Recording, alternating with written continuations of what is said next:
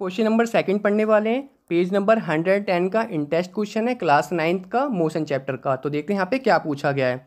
A train is travelling at a speed of 90 kilometre per hour brakes are applied so as to produce a uniform acceleration of negative का point five metre per second square तो यहाँ पे क्या है, हमारी जो एसरेशन है वो क्या है? नेगेटिव है, क्योंकि यहाँ पे जो इनिशियल स्पीड है वो हमारी ज़्यादा है और उसके बाद ये रेस्ट पोजिशन पर आ जाएगा तो वो ज़ीरो हो जाएगी।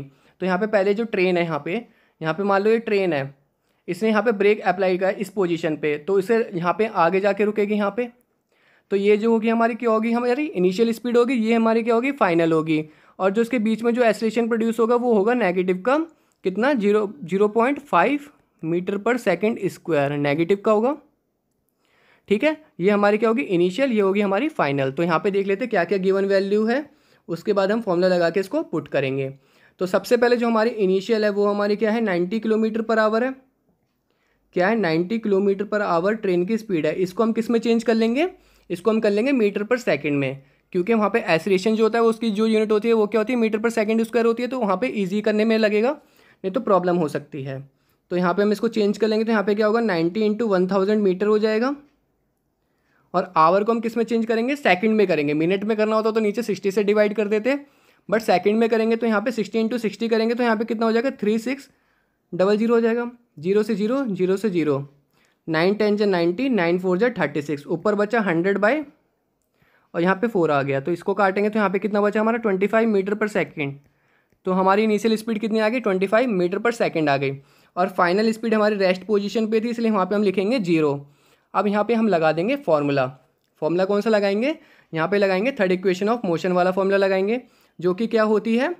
V square equal to u square plus two a s s यहाँ पे डिस्टेंस है तो यहाँ पे हमें निकालना भी क्या था? हाउ फार यहाँ पे हमें जो निकालना था वो डिस्टेंस ही निकालना था। डिस्टेंस को हम स्मॉल एस से डिनोट करते हैं।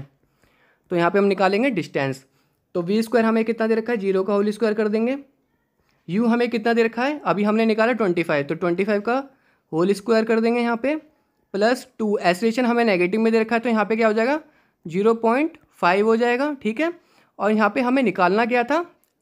डिस्टेंस निकालनी तो वो एस का ऐस रहेगा। अब हम इसको कर लेंगे कैलकुलेट तो ट्वेंटी फाइव का होल स्क्वायर करेंगे तो कितना आ जाएगा? सिक्स ट्वेंटी फाइव हो जाएगा।